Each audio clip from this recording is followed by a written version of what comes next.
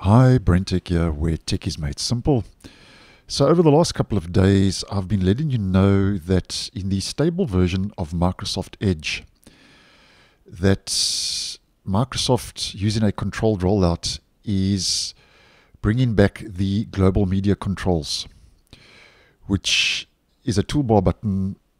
Upon clicking, display a flyout with a list of all currently playing media sessions in the browser and playback controls. Now, I'll leave two videos I've posted on this um, over the last couple of days linked. Uh, one regarding the feature, and one if you want to disable the feature. There is a way, a workaround for that. But when I've posted previously, the global media controls were looking very Material You and almost exactly the same as Google Chrome's.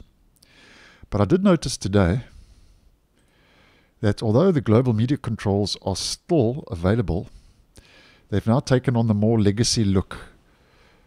They've taken on a more legacy look, which was the previous look and feel before Microsoft introduced this new look. So at this stage, I'm still asking the question are they back?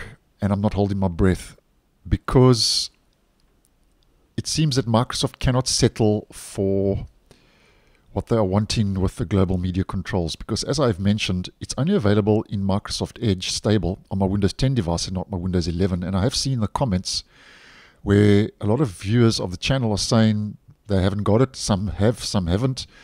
So it seems that Microsoft cannot really make up their mind what they want to do with this global media control. Although I do see that it is a feature that is currently in Edge 138 beta which is the version just before it makes its way to stable. So I think we will know with Edge 138 if this becomes a so-called default feature because at this stage though it's still in beta so it means that if you have it in the stable version Microsoft is A-B testing this feature.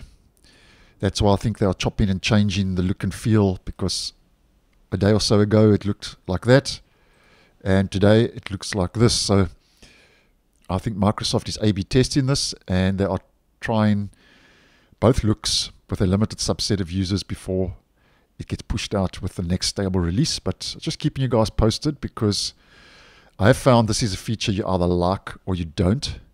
And if you don't, go check the video out on how to disable it. It will be linked.